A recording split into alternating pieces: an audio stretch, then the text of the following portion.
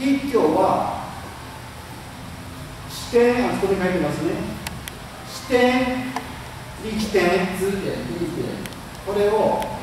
同時に動かしてるんだ。いいですか？視点と力点を同時に動かすと視点と力点が同じになるからいいですか？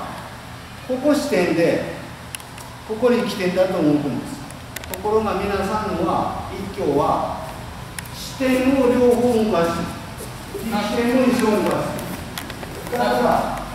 彼の作用点は前に進むだけ因为我们常常在做的时候，我们是把支点跟力点，我们同时出力在推它，所以其实你一推之后，对方它可能就会一起跟着移动。押さえるのに視点と視点と力点を同じにこれを。那我们在做压制，要把它手压下来的时候也一样。如果你是两根点一起在施力去压的时候，だからパワーってこうやるんですよ那因为我们有时候自己，我们可能搞不清楚哪一个是支点，哪一个是力点，所以我们就会用力方向就会错误。力点が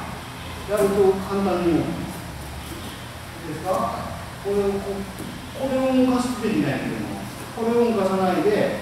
こうなるとほらいくでしょこうなると簡単でしょですから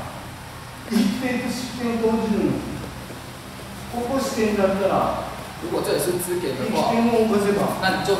动一个动力点的话，もう一つ对吧？发一个大です数かこれは絵を描いてこれを視点にするんだ如果这里是支点的话，で力点をここにするとほら那就動这边的力点，楽に動くんだ这样就可以很轻松的做下。これは手が出るの。これを腰を使うと思ったら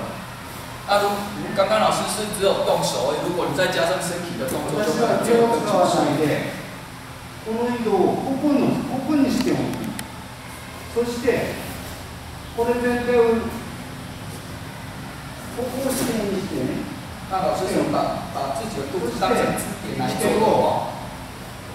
一つの力点でいいんですけれども抑え技というこの